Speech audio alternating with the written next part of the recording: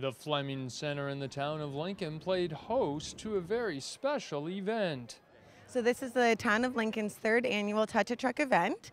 It's an event, a free family event for kids to climb and experience all of our uh, wonderful equipment that we have in our Public Works and our Community Services Department.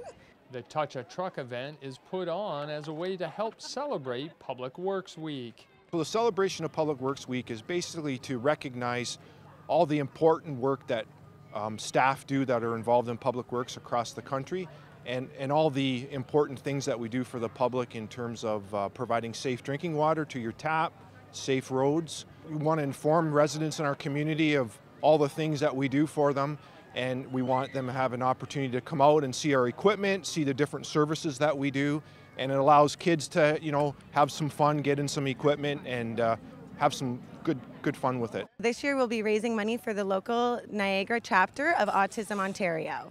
Visitors to Touch a Truck could also stop by and take in the Beamsville Farmers Market.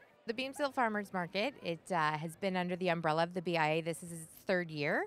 Uh, this year in particular, we decided to move it from its Beam Street location uh, to the Fleming Center. So today during this Touch a Truck event, we're just off on the property of the Fleming Center, but regularly starting next week on Saturday, June 9th until October 13th, we're right here. So we're really excited for it um, in its new location with the new development going in. It's very accessible, so we're really happy about it.